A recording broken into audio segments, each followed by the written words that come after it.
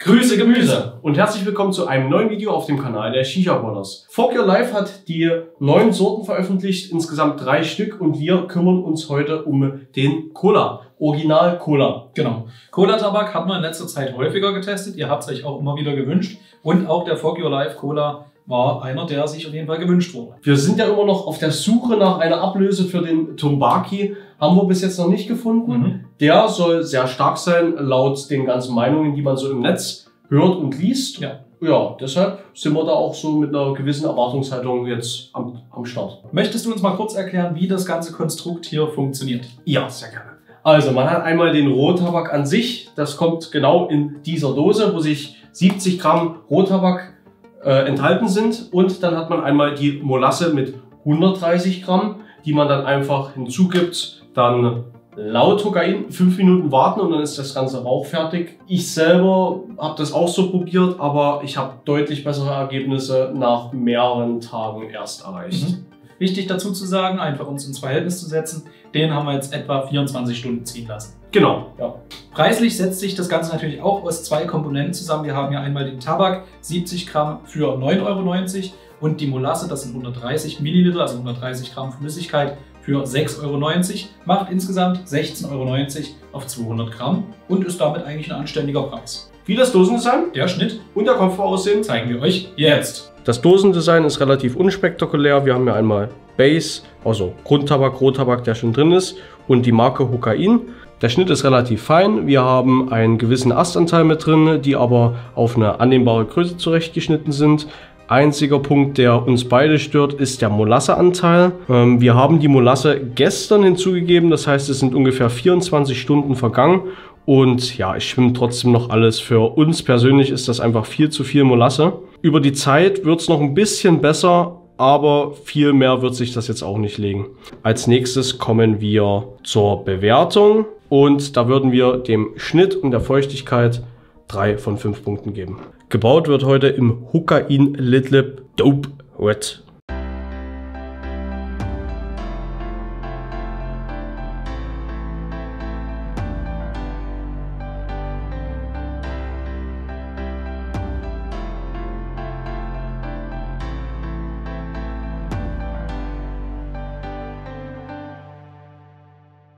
Dann noch mal kurz zum Kopfbau. Das war relativ einfach. Durch den hohen Molasseanteil im Tabak selber ließ sich das auch gut in Form bringen. Da das, der Lidlip ja eine relativ kleine Depotgröße hat, ging das trotzdem sehr easy und wir hatten keine Probleme beim Kopfbau. Da sind wir auch schon wieder. Alphons, was ist da drin im Tabak? Es verrät der Name. Der Name ist Original Cola, wie wir gesagt haben. Daraus lässt sich ableiten Cola.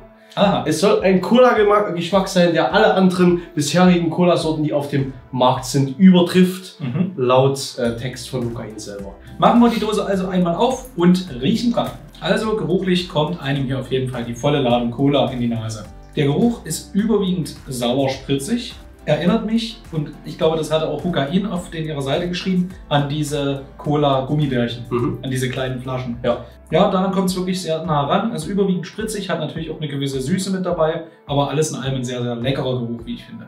Im Geruch finde ich, das ist ein sehr süß, säuerlicher Cola-Geruch. Riecht auch so etwas spritzig, hat eine sehr angenehme, leckere Cola-Note und überzeugt mich im Geruch erstmal auf jeden Fall. Ich persönlich würde dem Geruch tatsächlich fünf Punkte geben. Ich habe überlegt, weil wir wollen ja immer nicht zu, ähm, ja, zu gute Ergebnisse geben ähm, und habe versucht, was zu finden, was mir jetzt nicht gefällt am Geruch, aber habe nichts gefunden. Sehe ich ganz genauso, nichts auszusetzen. Sehr leckerer Cola-Geruch, erfüllt genau das, was drin sein soll. Deswegen 5 von 5 Punkten. Da sind wir auch schon wieder. Angezogen ist das Ganze und der Alphons wird wie immer einen kräftigen Zug nehmen und wir werfen mal einen Blick auf die Rauchentwicklung.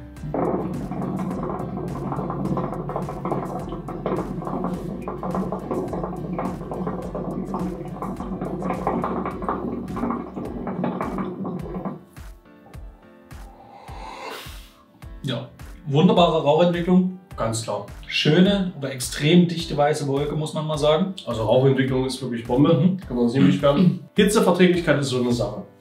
Ähm, Gerade aktuell haben wir keine Probleme. Wir rauchen wieder mit der Babuschka, das heißt aus Edelstahl, drei Kohlen direkt drin. Und aktuell lässt es sich wirklich sehr entspannt rauchen. Man merkt aber, dass die Molasse leicht hochkocht. Ja, man hört es auch. Genau, mir ist das in der Vergangenheit mit ein paar anderen Sorten, die ich da habe, schon etwas zum Verhängnis geworden. Also ich hatte öfters mal den Fall, dass zu viel Hitze da war und dass ich eine Kohle tatsächlich runternehmen musste. Mhm. Kommen wir einmal zur Bewertung. Wir würden dem Rauchverhalten sowie der Hitzeverträglichkeit vier von fünf möglichen Punkten geben. Jawohl. Kommen wir einmal zum Geschmack und der ist etwas schwierig, wie ich finde. Denn es unterscheidet sich mehr, als ich gedacht hätte, zum Geruch.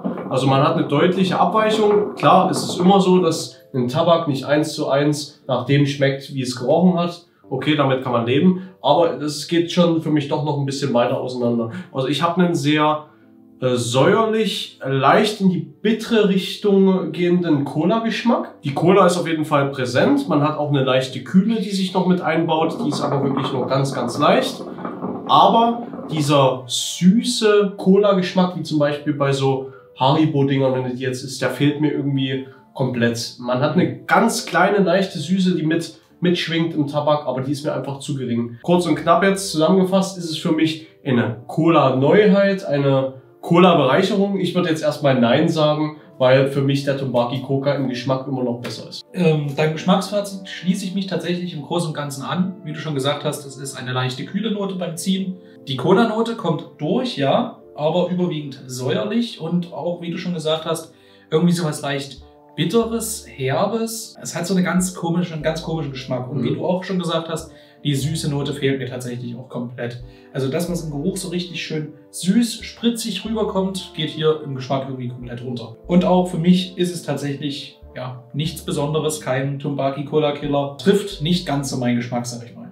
Kommen wir mal zu einer Geschmacksbewertung und ich würde dem Tabak einfach direkt aus dem Bauch raus drei von fünf möglichen Punkten geben. Es ist kein ekliger Geschmack, man merkt auch was durch, also was es sein soll, aber ja, der Unterschied zum Geruch ist mir einfach zu groß und er könnte einfach besser sein.